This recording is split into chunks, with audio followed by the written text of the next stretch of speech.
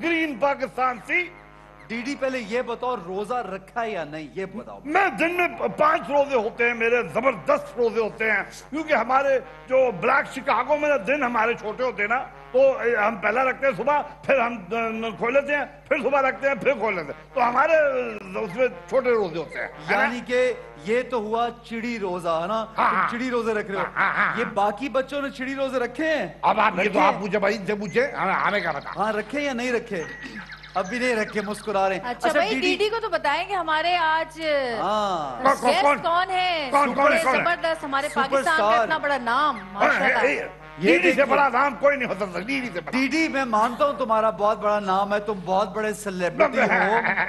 लेकिन तुम्हारे साथ एक और सेलिब्रिटी हमारा इंडस्ट्री का बहुत ज़बरदस्त बड़ा हमारा फेवरेट हीरो है समी खान। समी खान मैं जानता हूँ समी खान। वेरी गुड ताली बजाए ताली बजाए वेरी नाइस ये तो वो हॉकी प्लेयर है समी खान समीउल्लाह अरे समीउल्लाह कमीउल्लाह समीउल्लाह कमीउल्लाह बोल? नहीं डीडी अच्छा जी। समी खान हमारा एक्टर है। जी, समी। टीवी एक्टर फ़िल्म डीडी समी आपको सलाम कर रहे हैं सुन तो लीजिए। अस्सलाम वालेकुम डीडी ओह thank you thank you how are you Sami Khan. Sir I am good मेरी बड़े फखर की बात है कि मैं आज आपसे मुझे मुलाकात का मौका मिला है। यस यस थैंक यू आप सब आइए कभी ब्लैक शिकागो मेरे गाँव आइए बड़ा मज़ा आएगा आपको। नहीं बिल्कुल मैं ज़रूर एहसन और हम सब मिलकर के साथ। हम इकट्ठे जवेरिया तो मेरी पड़ोसन है जवेरिया वहीं रहती है मेरे साथ वाले तालाब में इनका घर है। बस हम तीनों इकट्ठे आएँगे आयशा भी आएँगी आयशा आप भी साथ आएँगी। चलेगी। बिल्कुल। बिल्कुल सही आयशा भी चलेगी आगे बढ़ते हैं और ये नहीं मैं आयशा से नहीं बात कर आयशा मुझे को कभी खाने को नहीं देती। मैंने सुना बड़े अफसरों के पास खाना चला वो जाता इसलिए है क्योंकि मक्खियाँ पकाती नहीं है ना जिस दिन मक्खियाँ पकाएँगे आपको मिल जाएगा हाँ, ठीक है ठीक है अच्छा डीडी खामोश नहीं होगा जब तक डीडी से भी बड़े जो उसके बॉस है वो नहीं आएँगे। डीडी से बड़े डीडी। डीडी से बड़े बॉस तो कौन है? आपने खालिद भाई को डड्डू कहा है। अच्छा खालिद भाई खालिद भाई। नहीं बिल्कुल। अरे हाँ भाई बस क्या हो गया? अस्सलाम वालेकुम अस्सलाम वालेकुम। अरे अस्सलाम वालेकुम अस्सलाम वालेकुम। कैसे हैं आप लोग? क्यों शोर कर रहे हैं आप लोग? हैं? क्या आपको क्या हुआ? है मैं- वो अब जब उधर जाएगा तो बोलेंगे क्या? अच्छा थैंक यू सभी। Wonderful to see you Ehsan thank you Javeria सबको you, भाई बहुत शुक्रिया। दोस्तों कल जो हमने आपके सामने किस्सा सुनाया था उसमें हमने जो सवाल पूछा था वो कहाँ गए? कार्ड भाई हमारे दिखाइए। जिसमें सवाल जवाब थे पहुंचवा दीजिए हमें। अच्छा उसमें सवाल के जवाब है तो आज आपके सवाल करेंगे कि किसने किया था। सही जवाब दिया है। अच्छा चले अभी हम, हम हमें अभी कुछ ही देर में आते हैं खालिद साहब सवाल की तरफ़ भी आप कहानी और वाक्य जो आप सुनाते हैं अच्छा मैं जो किस्सा है वो शुरू करता हूँ। आज का किस्सा जो है वो दोस्तों आ, हम आपको सुनाएँगे जो कुरान ने लिखा है जनाब हज़रत सुलेमान अलैहिस्सलाम का। हज़रत सुलेमान अलैहिस्सलाम हज़रत दाऊद अलैहिस्सलाम के फर्जंद थे और हज़रत सुलेमान के बारे में कुरान कहता है कि जैसी बादशाहत उनको अल्लाह ताला ने अता की ऐसी बादशाहत आज तक किसी को अता नहीं की। हवाओं को जिन्नात को चरिंद परिंद को जनाब सुलेमान अलैहिस्सलाम के कब्जे में अल्लाह ने दे दिया था। उनका एक तख्त था जो हवा को हुक्म था कि जहाँ वो चाहें, जब चाहें, जैसे चाहें, वो तख्त हवा लेके उड़े। और वो लिखा है कुरान में कि वो एक महीने की मसाफत तख्त जो था, दिन में, सुबह के वक्त चलता था और एक महीने की मसाफत रात के वक्त चलता था। तो अल्लाह ने उनको वो कुवत दी थी। जानवरों की जबान भी समझते थे और जिन्नात कुछ उनके कब्जे में कर दिए थे, जो उनके लिए बहुत बड़े बड़े महल, किले तामीर करते थे, बहुत बड़े बड़े देग, बर्तन तामीर करते थे।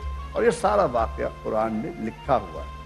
आज जो हम आपको खास एक वाक्य सुना रहे हैं, वो ये ज़िक्र है कि एक दिन जनाब सुलेमान अपने तख्त पे बैठे हुए थे और तख्त के दोनों तरफ़ उनके जो दरबारी थे, वो थे, जानवर थे, जिन्नात थे और हज़रत सुलेमान के तख्त के ऊपर परिंदे जितने थे, वो हमेशा साया किए रहते थे। यानी धूप उनके ऊपर नहीं पड़ती थी।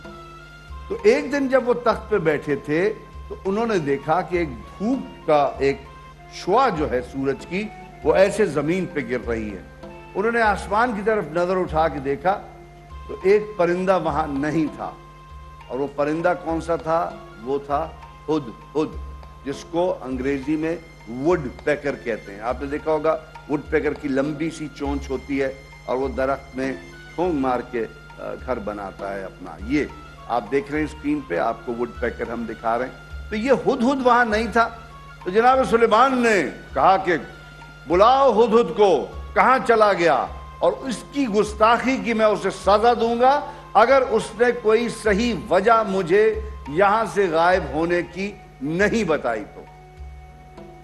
दोस्तों, ये कहना था कि हुदहुद फड़फड़ा था, घबराता हुआ वापस आया और उसने आके जनाब जनाब सुलेमान से माफ़ी मांगी और कहा कि जनाब सुलेमान, ए अल्लाह के नबी मैं आपके लिए एक ऐसी खबर लेके आया हूँ, एक ऐसे मुल्क की खबर लाया हूँ कि आप जब सुनेंगे तो वाकई आप मेरा गुनाह माफ़ कर देंगे। तो जनाब सुलेमान ने कहा अच्छा बयान करो, क्या है? तो हुद हुद ने जनाब सलमान से कहा कि मैं इस वक्त एक मुल्क के सभा से होता हुआ आ रहा हूँ, मुल्क के सभा वहाँ पे जो है, ये तकरीबन यमन के बॉर्डर पे ये जगह वाक़ है।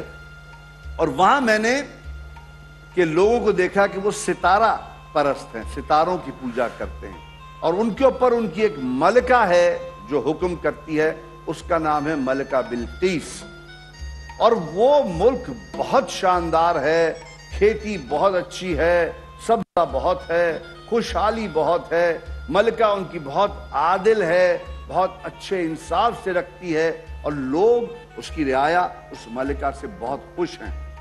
तो जनाब सुलेमान ये सुन के थोड़ी हैरान हुए। उन्होंने कहा अच्छा तो हमें ये बताओ कि कौन है यहाँ दरबार में मेरे? इतने जिन्नात मौजूद हैं। कोई है जो उस मलका का तख्त मेरे तक ले आए, उड़ा के? कुरान कहता है कि वहाँ एक जिन मौजूद था। उसने कहा, जनाब सुलेमान, हुजूर, आप अपनी महफिल बर्खास्त नहीं करेंगे, यानी जब भी दरबार खत्म होने का टाइम होगा उससे पहले पहले मैं वो जाके तख्त ला सकता हूँ। लेकिन बात यही खत्म नहीं होती। कुरान कहता है कि वहाँ पे एक शख्स मौजूद था, जिसके पास किताब का थोड़ा सा इल्म था। बच्चों, इल्म की अहमियत को समझें यहाँ पे। कहा एक दियो काम जिन, जिस जो यूँ उड़ के जाता है, यूँ आता है, और कहा एक शख्स, इंसान, जो जनाब सलेमान के दरबार में उनका वज़ीर था किताबों में उनका नाम आया है आसिफ बिन बरखिया। वो वज़ीर थे, वसी थे जनाब सुलेमान के और अल्लाह कहता है कुरान में कि उनके पास किताब का जरा सा इल्म था, थोड़ा सा। उन्होंने कहा कि हज़रत सलेमान से कि आप अपनी पलक झपकेंगे तो मैं पलक झपकते ही वो तख्त यहाँ ला के रख दूँगा आपके सामने। तो जनाब सुलेमान ने कहा हाँ जाओ, तुम ये करो। और ऐसा ही हुआ आपने पलक झपकी और आसिफ बिन बरखिया, जिनके पास किताब का मामूली जरा सा इल्म था, वो उस तख्त को वहाँ ले आए। मकसद तख्त लाने का यह था कि जनाब सुलेमान ने एक मरासला उस मलका को भेजा था और कहा था, देखो, मैं नबी हूँ, पैगंबर हूँ अल्लाह का, और तुम्हारे यहाँ चूँकि सितारा शनासी होती है सितारे की पूजा होती है, मैं तुम्हें दावत हक दे रहा हूँ। तुम अल्लाह का हुक्म मानो, कबूल करो और मेरे पास चली आओ। और जनाब सलेमान ने तख्त यूँ मंगवाया था कि उस तख्त को थोड़ा बहुत बदल देंगे और अपने दरबार में रख देंगे और जब वो मलिका आएगी तो पूछेंगे कि देखो, अपनी वो बादशाह दिखाने के लिए कि वो तो कहेगी, मैं तो चल के आई हूँ, तख्त तो वहाँ छोड़ के आई थी। और ये मेरा तख्त यहाँ कैसे आ गया? उससे जनाब सुलेमान पैगंबर की पावर जो अल्लाह ने उनको कुवत दी थी, वो उसकी समझ आ जाए। तो इस तरह उस मलिका को उन्होंने बुलवाया अपने पास। वो जनाब सलेमान पे ईमान भी ले आई और मुल्क सबा के लोग तमाम ईमान ला के अल्लाह की वहदानियत को मानने लग गए। तो ये थी आज की कहानी दोस्तों और हमारे पास शीश आ चुके हैं जनाब सलेमान और मलका बिल्कीस जिनका ताल्लुक सबा से था। शीश कैसे हैं आप? मैं ठीक हूँ। ठीक है अच्छा भाई कल वाला सवाल का हम तो पहले पूछ लेना।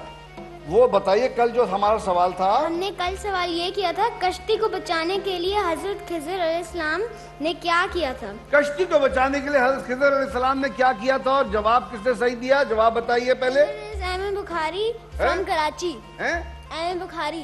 कौन?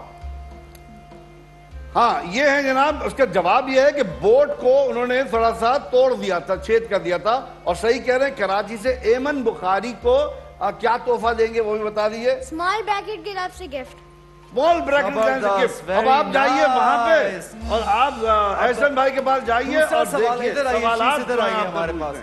यहाँ पे आइए पहले तो समी भाई साहब मिले सलाम। समी भाई समी भाई ये पूछ रहे थे कि ये इतना प्यारा हीरो जो है ये इस प्रोग्राम का हिस्सा है शीश मैंने कहा हाँ जी भाई ये हीरो भी हमारे साथ है। अच्छा अगला सवाल क्या? सवाल इधर इन लोगों से करेंगे या इन बच्चों से कर रहे हैं आप? जानिए देख रहे हैं अभी। अच्छा जो अभी जो जो देख- air है उनके ठीक लिए। है टेलीविज़न पे जो हमें देख रही है उनके लिए है आप लोग जवाब देंगे तो आपको गिफ्ट मिलेगा। और सवाल ये है आज की कहानी जो खालिद साहब ने सुनाई है। जी। मलिका बिल्किस की कंट्री का नाम क्या था? मलका बिल्किस की कंट्री का नाम क्या था? वेरी इजी कौन बताएगा भाई ये जो बता देगा उनको क्या मिलेगा जनाब तोहफा? स्मॉल ब्रैकेट की तरफ़ से क्लोथ्स ओके जी और यहाँ मैं, मैं, मैं, मैं बताऊँ मलिका बिल्किस की कंट्री का नाम था पाकिस्तान। डीडी डीडी भाभी कुछ नहीं बताना। गलत जवाब है तुम्हारा। मैं- मैं- मेरे पड़ोस में जवेरिया के साथ रहती है बिल्किस बाजी। बताइए जवेरिया आप इनको। ये बिल्किस नहीं है भाई। फिर वो कौन है पड़ोस में आके आयशा रहती है? आयशा है ये आप अपनी आँखों का इलाज कराएँ। ओ तो इनका असल पूरा नाम है आयशा बिल्किस खातून। नहीं। नहीं। इनका नाम है आयशा अबरार। आपने शनाख्ती कार्ड देखा है इनका? मुझे बताया ना मुझे मुझे बताया बड़े अफसर ने इनका नाम। आपने इनको नाराज़ कर दिया आप जो ये खाना बनाएँगे उसमें से कुछ भी आपको नहीं नहीं नहीं, ठीक है मक्खी का सूप नहीं, हरी मिर्च है वो मैं आपको दूँगी। मक्खी मक्खी सूप। ठीक है डीडी हम अगला सवाल करें जो यहाँ के बच्चों से सवाल क्या है? शीज बताइए जी सवाल क्या है? यहाँ के बच्चों से ये सवाल है हज़रत सुलेमान को सबसे पहले मलिका बिल्किस के बारे में किसने बताया? तो यहाँ जाओ यहाँ इनसे पूछो हज़रत सुलेमान को सबसे पहले मलका बिल्कीस के बारे में किसने बताया? साथ यहाँ अब भी है ना अगर- यहाँ भी है ना। अगर यहाँ पे किसी को जवाब आता है क्या? आता है। किसको आता है? हाँ? ये बताओ बताओ। माइक माइक में। माइक में माइक। वुड क्या? Wood crack. आप सही कह रहे हो वुड। वुड पे गई है हो भाई, very जाइए इनको इनाम दीजिए इनाम दीजिए। वेरी नाइस अच्छा जनाब एक और सवाल भी शीज के पास है। शीज एक और सवाल करेगा। ये इनाम मिल गया। हमारे प्यारे से पार्टिसिपेंट चलो को ये सवाल तुम दे दो एहसन भाई को। वो जाके करते हैं ऑडियंस ठीक है ऑडियंस से अगर शीज बोलेगा चीज़ भी साथ चलेगा ना अ, सवाल कीजिए सवाल कीजिए क्या है? मुल्क सभा के लोग किसकी पूजा करते थे? मुल्क सभा के लोग किसकी पूजा करते थे? और हम सवाल पूछेंगे ऑडियंस से। आइए जी इनको माइक दीजिए। मुल्क सभा के लोग किसकी पूजा करते थे आप बताइए। चाँद सितारों बताइए खालिद साहब। आधा है। आधा तकरीबन तकरीबन एक और- एक और एक और जवाब किसी और से लेते हैं जवाब। और किनको मालूम है? ये बच्चे को दीजिए माइक हाँ बच्चे को दें। You were almost close but देखते हैं। सितारों की। सितारों की चाँद चाँद की नहीं। आपने तो नहीं, चाँद चाँद नहीं चा- नहीं, नहीं। सितारे सिर्फ़ सितारे। कुरान में सिर्फ़ सितारे लिखा अच्छा आइए सभी इधर कोई बात नहीं फ़िक्र ही मेरा आपको तोहफा देते आइए सभी इधर आइए। जी जी जी। ये पकड़िए पिज्जा पॉइंट की जानिब आपको से। भी मिल जाए। ये वाउचर्स हैं आप हमारे लोगों में इनको भी दीजिए और उनको भी दीजिए आप लोगों में बांटिए और ये शीज आप लीजिए और ये लोगों में जाके बांटिए। ठीक है जी? अच्छा आपने सारे ही एक को दे दिए हैं। नहीं नहीं दो तीन चार पाँच ये ले और दे दें फिर। सबको भाई इन बच्चों को भी दे देना यहाँ हमारे पास आ रहे जी उधर भी हमारे तहाई कुछ लोगों में बांट रहे हैं। आगे अ, एंड पे एंड ये ये लीजिए। आप भी पिज्जा खाएँगे। ये बच्चे। ये आप भी पिज्जा खाएँगे। वो पीछे भी पिज्जा खाएँगे। ये आप भी पिज्जा खाएँगे। ये हमारा प्यारा सा बेटा बैठा है ये पिज्जा खाएगा। और कौन पिज्जा खाएगा? ये- ये लो। इधर इधर इधर कहाँ है सब? ये लो पिज्जा यार एक मैंने डीडी को भी देना है। डीडी के पास है पिज्जा है? मेरे पास जो है, मुझे पिज्जा। मक्खी का पिज्जा डीडी को चाहिए?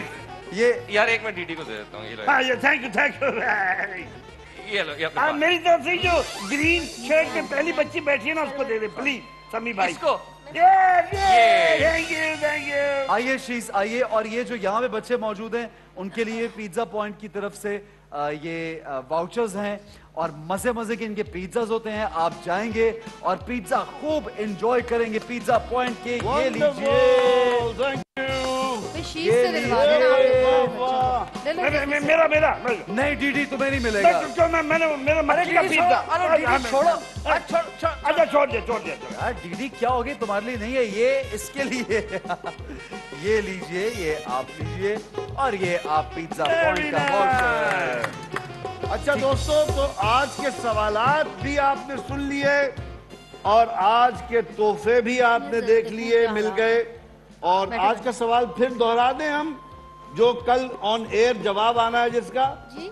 वो सवाल ये था कि जनाब सुलेमान अलैहिस्सलाम को मलका बिल्कीस के बारे में नहीं नहीं नहीं, ये नहीं था? नहीं नहीं ये नहीं था। अच्छा उनके मुल्क का नाम पूछा था आपने। ये दोबारा हाँ दोबारा पूछो चलो। मलिका बिल्कीस की कंट्री का नाम क्या था? हाँ असल तो ये है मलका बिल्कीस की कंट्री का नाम। ठीक है जी?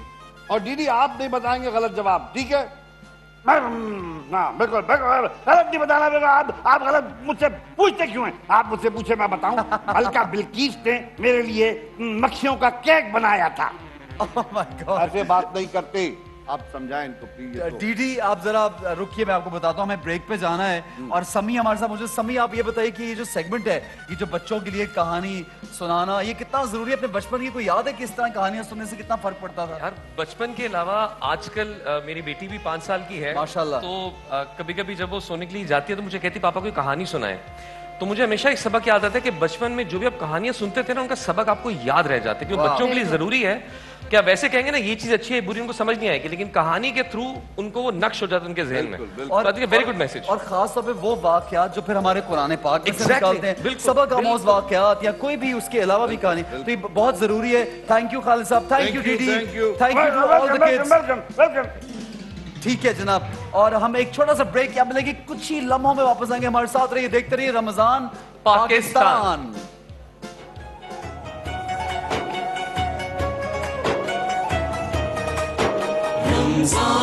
Pakistan This Ramzan Hamd is brought to you by